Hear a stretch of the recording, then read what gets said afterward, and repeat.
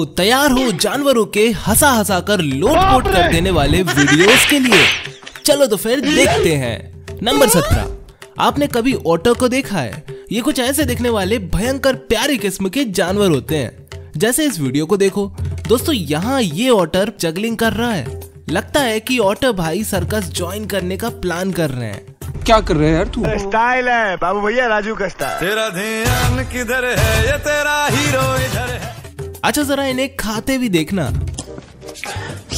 अच्छा इसमें से खा लेता हूँ क्या पता था।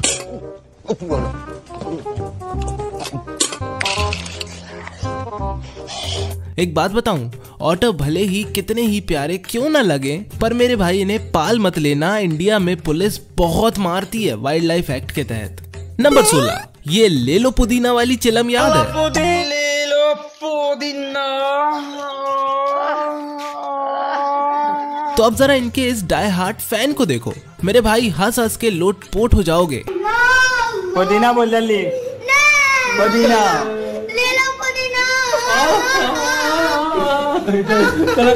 सही है। ज़िंदगी चाहे जितना भी परेशान करे जब भी कुछ अच्छा ना हो तो ज़ोर से चिल्लाकर बोलना। ले लो पुदीना। दोस्तों, आपने जब भी देखे होंगे बड़े बड़े मगरमच्छ देखे होंगे। पर आप इस बेबी मगरमच्छ को देखोगे ना तो सही कह रहा हूँ, सारा डर भाग जाएगा।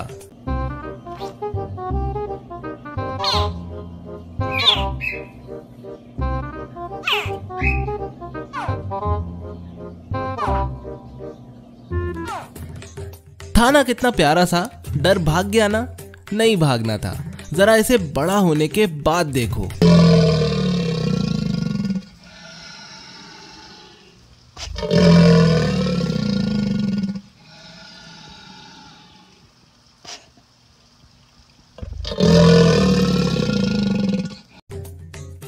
भाई साहब शेर जैसे गुर्राते हैं ये मगरमच्छ भी। बाप रे। नंबर चौदह यार पांडा जितना मज़ेदार कोई जानवर नहीं होता। इनकी हरकतें दिन बना देती हैं। ये वीडियो देखो। यहाँ इस मदर पांडा का बच्चा उससे दूर केयर टेकर के पास खेल कूद रहा था। तो इसके बाद इसकी माँ ने इसके साथ जो किया ना क्या, सही इसे पकड़ के खचोड़ते हुए लेके गई ना? और एंड में दबोच के सुला लिया। बिल्कुल ऐसा इंसान करते हैं। अच्छा अब दोस्तों जरा इस वीडियो को देखो। यहाँ ये पांडा लोग स्टाफ के साथ कोऑपरेट नहीं कर रहे हैं। तोड़ दूँगा तोड़ दूँगा। मेरे भाई को छोड़ दे।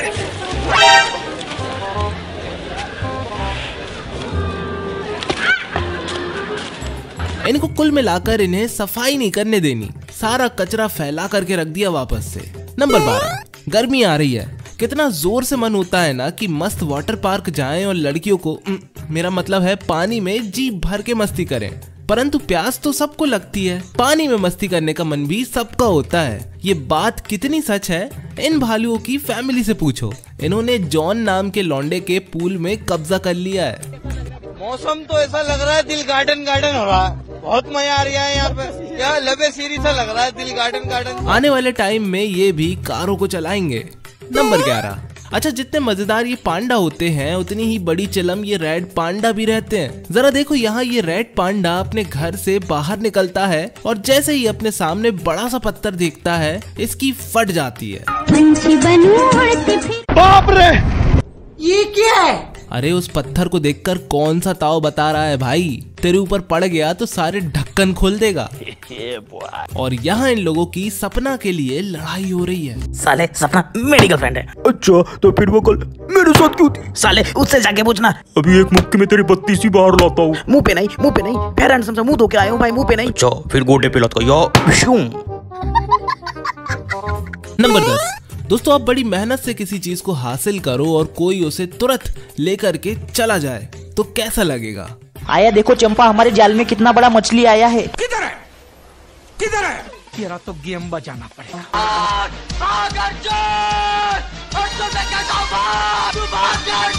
ये भगवान क्या जुल्म है? बहुत बढ़िया बिल्ली मौसी बहुत बढ़िया। पर तुम तो बस मछली ही चुरा पाई। आजकल की लड़कियाँ तो दूसरी लड़कियों के बॉयफ्रेंड उड़ा ले जाती हैं। नंबर नौ। दोस्तों आदमी एक ऐसी जात है जो पहाड़ हो या पेड़ हर जगह अपने घर बना लेता है। परंतु ऐसा नहीं है कि हम ही अजीबो गरीब जगहों पर घर बनाते हैं। जरा इस पक्षी को देखो। इसने तो भैंसे के सर पर अपना घोसला बना रखा है। किसी दिन ये भैंसा अगर किसी दूसरे भैंसे से लड़ पड़ा ना तो पंची भाई, तुम बेमतलब पेले जाओगे। याद रखना। नंबर आठ। किसकी मजाल जो छेड़े दिलेर को? भाई, शेर अगर सो रहा है तो कौन पागल है जो उसे जगाएगा? जानते हो कौन? बाबू भैया डायरेक्ट बाबू। तेरा तो गेम बजाना पड़ेगा। अबे साले। तू पागल है क्या? तोबा तोबा तोबा थारा मूड खराब कर दिया। बहुत बढ़िया बेटे भाग गए। पकड़ा जाते ना तो ये लोग बिरयानी बना देते तुम्हारी। अच्छा कभी भी सुअर के साथ लड़ाई मत करना क्योंकि तुम दोनों कीचड़ में गंदे होगे पर जो सुअर है वो उसे बहुत एंजॉय करेगा। ये फैक्ट बस पिक्स पर एप्लीकेबल नहीं होता। नंबर सात। अच्छा भेड़ चाल तो इंसान हो या भेड़ दोनों जगह काफ़ी देखी जाती है। कहते हैं कि अगर सबसे आगे चल रही भेड़ गलती से खाई में कूद जाए तो सारी भेड़ें भी बिना सोचे खाई में कूद जाती हैं। पर इस स्कॉर्पियो वाले भाई ने सोचा नहीं होगा कि ये भी एक भेड़ चाल का शिकार बन जाएगा। मुझे मुझे जाने दो। मेरी माँ मेरा इंतज़ार कर रही है। ये भगवान क्या जुल्म है? इस बंदे की हालत देखो। बेटे, बस हॉर्न बजाने से कुछ नहीं होने वाला। अच्छा आप अगर यहाँ होते तो क्या करते? कमेंट्स में बताओ। नंबर छः हर किसी की ज़िंदगी में एक ऐसा बकलोल दोस्त ज़रूर होता है जो बेमतलब ऐसी हरकतें करता है जिनसे आपको डर लगता हो। इस शेख को क्या पता था कि इसका दोस्त इसके साथ क्या करने वाला है? यार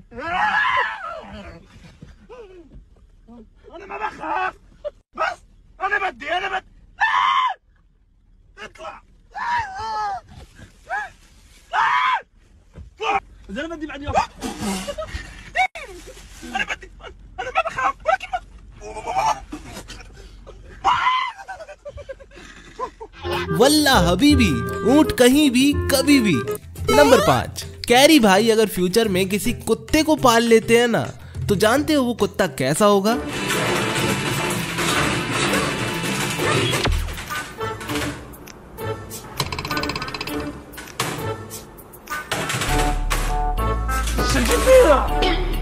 ऐसा, ये कलयुग के डॉग भाई लोग तो गेमर भी बन चुके हैं। कितने मज़े से गेम खेला जा रहा है ना? नंबर चार कोई इंसान जब बहुत सीधा होता है तो लोग उसे गाय कहते हैं। एक बारी फिर से सोच लो दुनिया वालों क्योंकि कई बारी गाय ढोर भी काफ़ी ज़्यादा हरामी निकल जाते हैं। जैसे यहाँ ये लड़की इस बीमार गाय की मदद करने आती और है। और मेरे बाबू ने थाना थाया? ऐसे ही ये भाई इंस्टाग्राम पर बाइक स्टंट की वीडियो बना रहे थे। तभी वहाँ खड़े सांड भाई को लगा कि मोहल्ले में कोई नई छमिया आ गई है। बस फिर क्या था? रुक तेरे को बताते साले को बम से उड़ा दूँगा एक बार हाथ में आ जाए तो। नंबर तीन। दोस्तों आपने इंसानों को या जानवरों को नहाते तो बहुत देख रखा होगा पर क्या मेरे भाई आपने किसी चुखरे को नहाते हुए देखा है? लैवेंडर मिल्क क्रीम और नेचुरल ऑयल से बना नया गोदरेज नंबर वन खूबसूरती ऐसी जिसे प्रकृति भी छूना चाहे। गोदरेज नंबर वन प्रकृति का स्पर्श। ये तो बिल्कुल हमारी तरह मुँह घिस घिस कर नहा रहा है यार। शायद आज अपनी गर्लफ्रेंड से मिलेगा चूहा भाई। और यहाँ ये चूहा उधम करते हुए रंगे हाथों पकड़ा चुका है। इसका रिएक्शन देखना। भैया मैं तो चेक करने आया था कि बिजली आ रही है कि नहीं तारों में। वो क्या है ना मेरे कमरे में लाइट नहीं आ रही थी। अरे वीडियो मत बनाओ भैया मैं तार वार नहीं काट रहा था। आपकी मम्मी की कसम मेरी मम्मी तो पिछले हफ़्ते ही मर गई। अच्छा। नंबर दो। हाथियों के छोटे छोटे बच्चे मस्ती करते हुए कितने प्यारे लगते हैं ना। कसम से इन्हें देखकर दिन बन जाता है। अच्छा तो जरा इन छोटू मियाँ पर भी नज़र डालो। इन भाई साहब ने पानी को अपनी लाइफ में पहली बार देखा है। मन करता है इसे गोदी ले लूँ। फिर इसका वज़न कितना होगा सोच के सारे अरमान नाली में बह जाते हैं। नंबर एक। अच्छा दोस्तों, ऐसा कहा जाता है ना कि बुरा करोगे तो बुरा ही मिलेगा। कई बारी ऐसा तुरंत हो जाता है, जिसे हम इंस्टेंट कर्मा कहते हैं। हमारे इस डॉग भाई के साथ भी इंस्टेंट कर्मा हुआ है। तू तो गया बेटे। अरे भाई भाई भाई क्या हुआ भाई भाई क्या हुआ